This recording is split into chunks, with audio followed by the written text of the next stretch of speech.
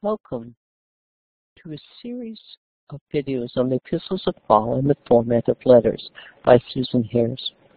This series has covered ancient Roman letter writing. Who wrote? Who did they write to? What sort of things did they say? Second, it, it examined rhetoric letters versus Paul's letters. The great rhetoricians Aristotle, Cicero, and Quintilian have a particular style for four types of convincing judicial, deliberate, and uh, public praise. Now, Paul's literature is often considered deliberate because it looks toward forward. The second part examines those and examines that overlaid by Paul's Jewish background of remembering. The third part is to look at how Paul uses the style of other Greco-Roman philosophers. Specifically in Thessalonians, we look at the style of Dio Chrysostom, who was a Cynic philosopher, and Paul's use of one of his dialogues as a sort of mirror that he puts himself up to. That's a fun look to show how Paul actually has quite a bit of skill in presenting his argument in a modern form. It would be like using a modern speechwriter or a modern comedian as his way to, to provide his materials. The fourth part, we looked at the emotions in Paul epistles. This comes majorly out of Dr. Story's, Miles J. Story's work on emotions in the epistles for this course. And lastly, we look at histories in Roman times, how Acts is different than those epistles. Well, let's start with the fifth part, our final part. Is the Acts a historically, a biographical piece, a biography of Paul or someone else, historical novel, or something else? Now, the models for the Acts genera in historical is historical monograph.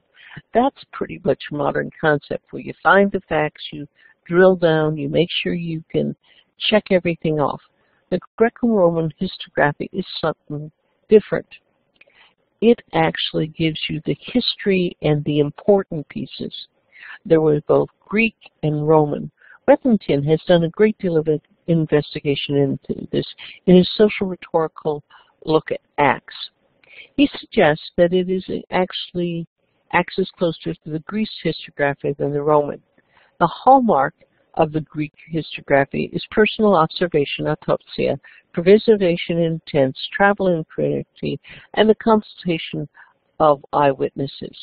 This is clear that um, in Paul's original writings that he's that he's taken personal observations, participated in this uh, travel in Philippi, it says we in that point, that he's inquired into the travel stops and he's consulted witnesses. This is similar to the writings, uh, Polybius's writings of historiography or Forrest. And that's Witherington, a very excellent book. And if you need pieces of that, I, I do have that particular book in my library. Luke uh, doesn't go to a specific person, but a specific group. And this is, again, normal. It's looking at some key person or group in history to explain. They might look at uh, the Homer's uh, Iliad, they look at some of that, or uh, uh, as far as the people who came to Troy and uh, Odysseus who went home. It's common for the writer to create dialogues based on known facts to make the history readable. That does not take away from his accuracy, and the author would try to be as accurate to the major concepts. He doesn't write word for word, and that's a difference with historiographical, uh, historical monograph today. History today, we write what people have said, not what we think they want to say, but what they said. Now, the Greco-Roman biography forms another place where we might have a genre for acts. There is a genre, uh, a subgenre that deals with the lives of philosophers and successors, such as Socrates. It's the biography of an intellectual, not uh, a businessman, uh, not a patrician, not a uh, war leader, not a priest. It is an intellectual.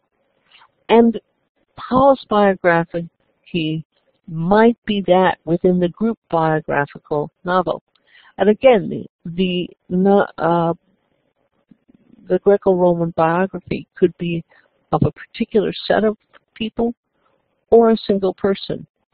Acts 28 points to Paul's personal biographic information. Okay, another model for the a historical novel. The novel is where fact and fiction are mixed. Acts is like an apocryphal Acts. The dialogues give wit, humor, and pathos.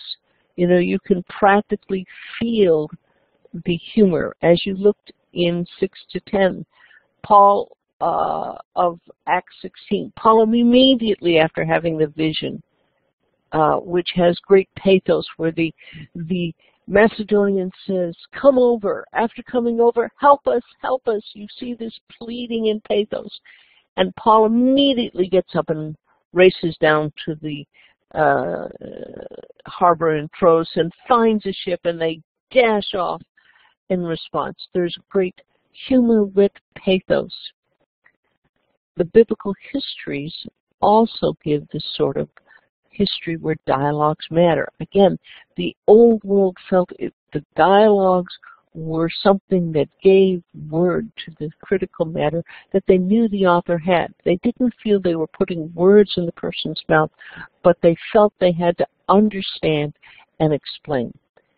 Acts is a theological history of a movement with dominative narrative speeches, and the narrative shows the fulfillment of God's plan. So what genre is it?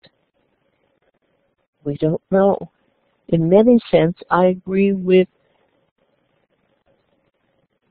Witherington that it's a Greco-historiography that actually follows that form. That's the closest form. But Paul weaves in biographical, excuse me, Act weaves into Paul's portion of it biographic information. It becomes a biography of Paul's life, and you see his pathos and his struggles and his travels more than you see the travels of Barnabas and Mark. Is it also a historical, biblical history? Yes. It is showing God's plan. So, as you consider your final chapter next, consider what is it? Answered for your own heart. And if you need more scholarly resources, please let me know.